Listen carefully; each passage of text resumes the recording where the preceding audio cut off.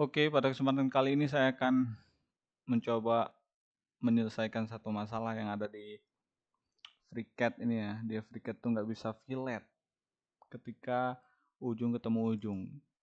Saya akan coba gambarkan secara cepat. Saya buat body dulu. Kemudian saya buat sketch di bidang XY. Lalu saya buat asal aja kotak ya. Seperti ini. Kemudian extrude Oke, lalu kita saya sketch lagi dengan uh, oke bantuan dulu. Garis bantu.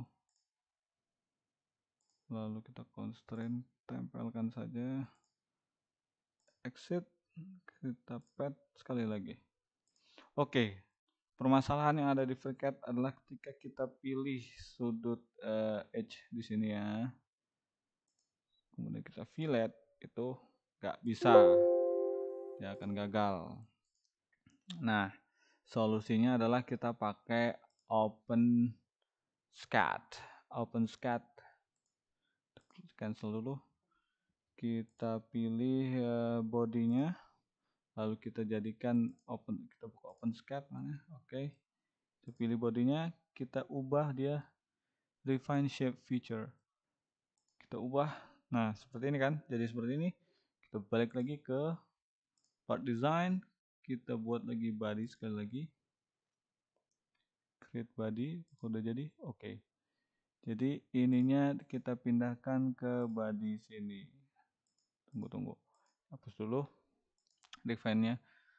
Kita uh, kursornya kita pilih. Kemudian kita buat body. Oke. Okay.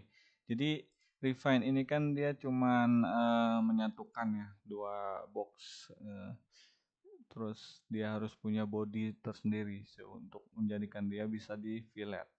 Oke setelah itu kita bisa pilih fillet. Pilih dulu edge nya fillet. 2 mili oke gitu aja. Thank you. Semoga bermanfaat ya